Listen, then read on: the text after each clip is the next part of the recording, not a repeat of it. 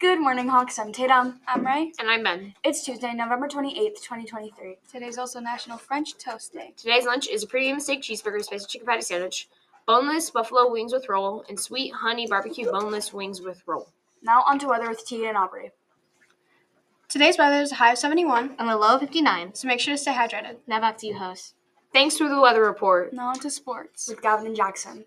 There are football, volleyball, and cheer pictures today. The pictures are after school. Back to you, host. Thanks for the sport report. Now to special announcements. With Aubrey and Tegan.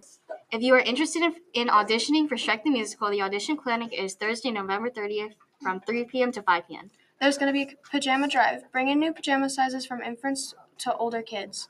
Are you interested in robotics? Sonora Heights will have a robotics club this year. Interested in learning more?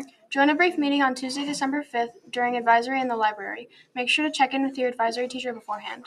See you there. Thanks for those special announcements. Have a good rest of your day, Hawks. Bye.